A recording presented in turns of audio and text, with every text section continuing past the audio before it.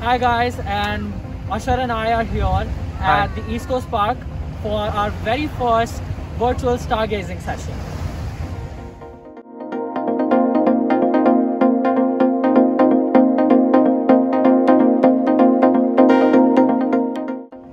Tonight we're going to take you through some very important steps to performing stargazing right at home.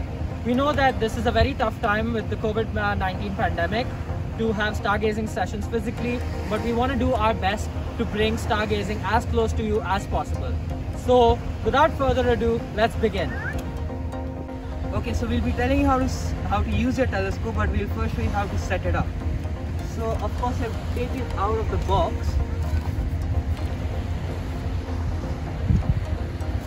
If you're carrying it, so you have to open the box, take out the packaging. Now, telescopes are packed uh, very effectively to prevent them from damages. So you take out the packaging and then in my case you can just pull out the scope like so you can keep it on the floor for now so after taking your telescope out of the package if it's a tabletop telescope like mine you can close the box up and use it as a base like so and then lift your scope keep it on the box and you're almost ready to go. Now my telescope is a tabletop one so it's designed to be uh, it's designed not to take up much space. So it can be folded and can be opened up like so. And now after removing the cap it's ready to use. And now we'll talk about the finder scope the finder scope is a key part of the telescope because it helps you point to your objects you cannot use the telescope alone to point towards an object because of the high magnification so that makes it quite difficult to especially when looking at stars all you really see, see are bright dots so it is difficult to distinguish between So this is what it looks like through the finder scope.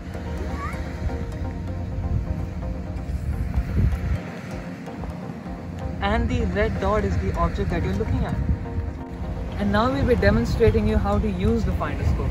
So after attaching it, you can point your telescope in the general direction of your target and then look through the finder scope. You'll usually see a red dot that indicates where your telescope is pointing. This is how to set up a refractor telescope, which is a lot smaller and a lot more for regular astronomy. Uh, it's also low budget, so if that's if you're a beginner astronomer, this would be a better option for you to begin with. This is the mount that comes with the telescope. It has extendable legs uh, to suit your height, if, of course, depending on your height. So what we do is we open the mount up. It's a tripod mount and then we make sure that the legs are placed on the ground such that it does not tip over or balance uh, or tip over lose balance on any side this is very important because your telescope is expensive equipment we don't want it falling over now this is the mount where we will be placing our refractor telescope this is the refractor telescope. It is almost like a tube and it has a dew shield in the front. I'll talk about this in a minute. So how you install this is just slide it over. It depends from model to model though. These are relatively easier to install than the reflector telescopes.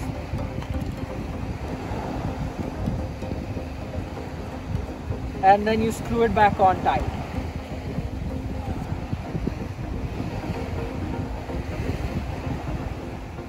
The next thing we're going to do is install the eyepiece. So there's a diagonal for this. There's a mirror inside this which directs the light inside up towards the eyepiece. So we just put it in the front over here. Open up the top. It's very important to keep these covers safe.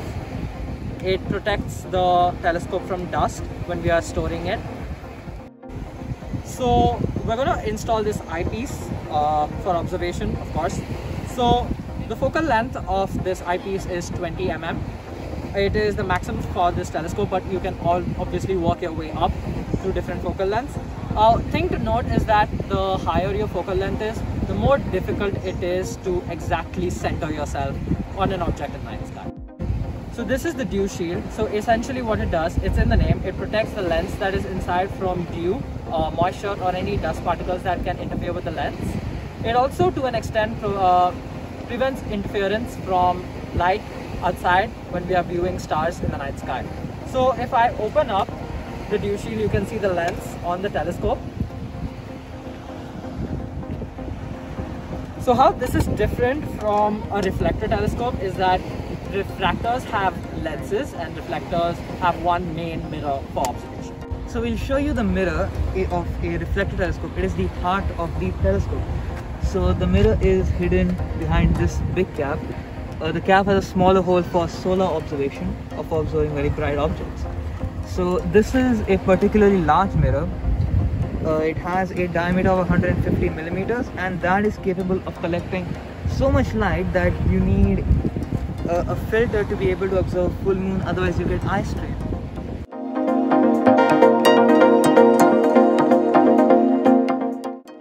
So we're going to talk about choosing the appropriate location for stargazing. Now it is very important for you all to know that Singapore is the world's most light polluted city. And what that does is, as can be seen, the inner city sky has a lot fewer stars than the excellent dark sky side. This is because surrounding lights such as street lamps, building lights, etc interfere with the low brightness of stars and galaxies in the night sky and reduces their contrast to our eyes, which is why we can't see them. This is also why when the sun shines brightly during the day, we are not able to see any stars in the sky.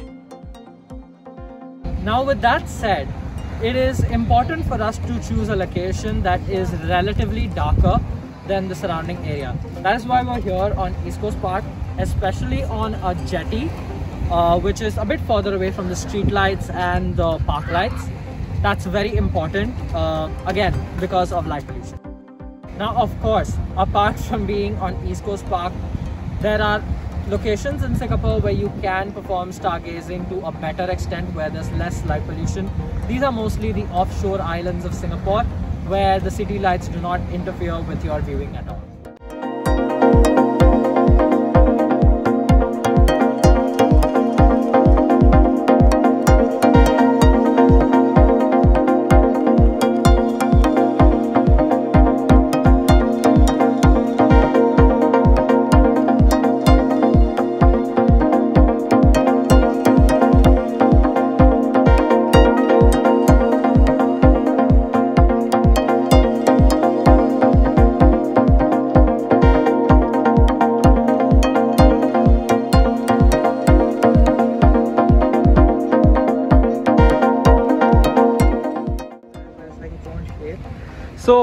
Uh, we are pointed at a Messier object. So it's a very dense cluster of stars in terms of the image. We're focused on it and taking a picture right now using a DSLR. That's the update and I am also pointed at it right now. It's somewhere out there. It's very hard to see with a phone camera. You really need a long exposure to see the stars. So we're going to show you what we got from our Messier object observation.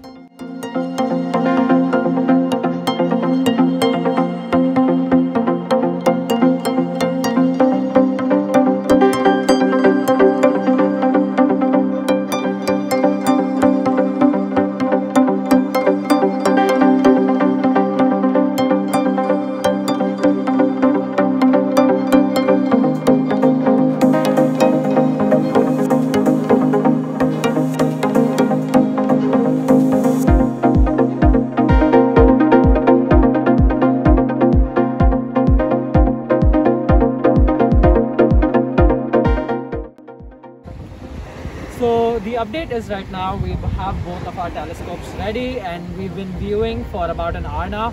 We've seen pretty interesting stuff. We've seen very bright stars. We've seen Arcturus which has been in the center right above. We've seen uh, Rigel which has been southwards and Sabik which has been in the east. Right now both our telescopes are pointed towards uh, area called the Shaula Star area where we are viewing and going to image a star. Uh, what we want to talk about right now is the importance of being patient while doing astronomy because right now uh, we are waiting for Saturn's rise. But the thing is we are prevented from looking at other stars because of the cloud cover right now. So if you can see we have pretty heavy cloud cover and this is quite common in the tropics so it is always important to remember that the weather will always be a problem when it comes to astronomy unless you're at a very high altitude and sometimes even at high altitudes you have weather problems it is necessary that you be patient uh, for the weather to clear and if not you have to wait for another day uh, to view the universe Rigel. so what we're doing now is uh, using a star chart and we're going to find the coordinates of the Saturn. Yes saturn Based off of other stars that we can already see. So we're currently pointed at a star called Vega that is behind a cloud right now. It's over there. And our telescope is pointed right at it. So using a sky map is really important because it gives you the coordinates, uh, the angle of elevation. It's very useful. Okay, so based on the coordinates, uh, there's a very, very dim dot in the sky which I spotted. So Usher's gonna find out if we are looking at the correct thing or not. So how I identified it is it wasn't blinking, unlike stars which blink a lot. So I thought that's the one. Usher, what do you see?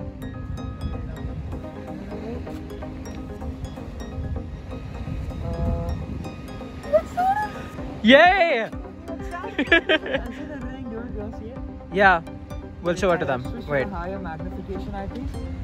Right, so thankfully that was successful. And so now you know how to identify a planet. You basically have to identify the object in the sky that isn't blinking.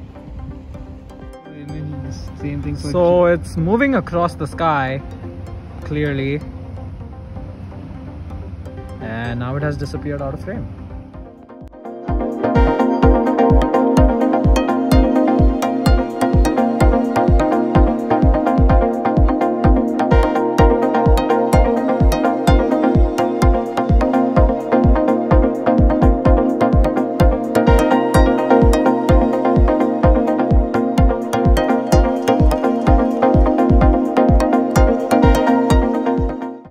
Jupiter, Saturn among other planets and we'll be sure to share the images and the video with you on Instagram and on the Global Indian School YouTube channel.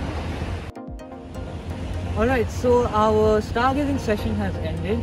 We hope you were inspired by this to go out, go out and explore the universe yourself. Thank you.